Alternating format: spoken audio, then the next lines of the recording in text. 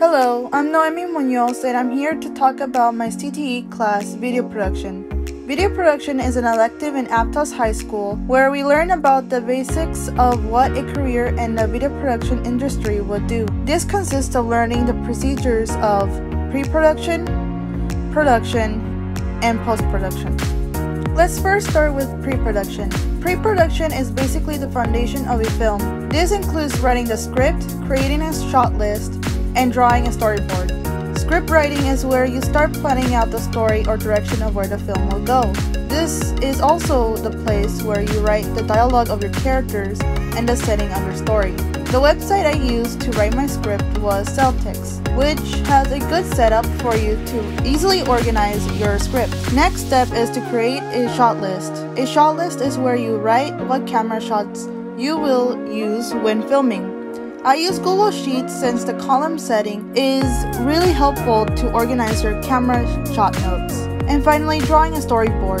A storyboard is useful to remember what you visualize during your time working on the pre-production so that during production you can film exactly as you wanted.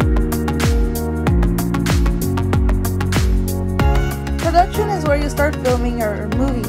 In a case if you're making an indie movie, you have to direct the actors and the crew on what they have to do, film and set the scenes. Since my projects are low budget, I suggest using your iPhone since it's likely to have good focus and visuals. The only downside of that method is that the audio may not be the best, but I'll explain a way to fix that in post-production.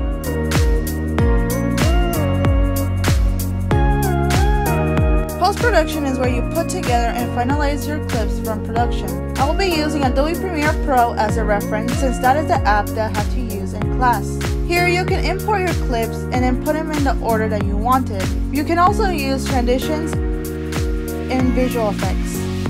There's also the option to adjust the audio of your clips to keep it constant throughout the movie. You can also import audio clips as well. Those audio clips can consist of sound effects, soundtrack,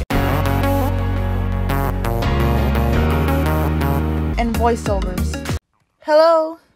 If you're a low budget like me, some free websites can help get you some free audios. For sound effects, I suggest going to freesound.org and Zapsplash.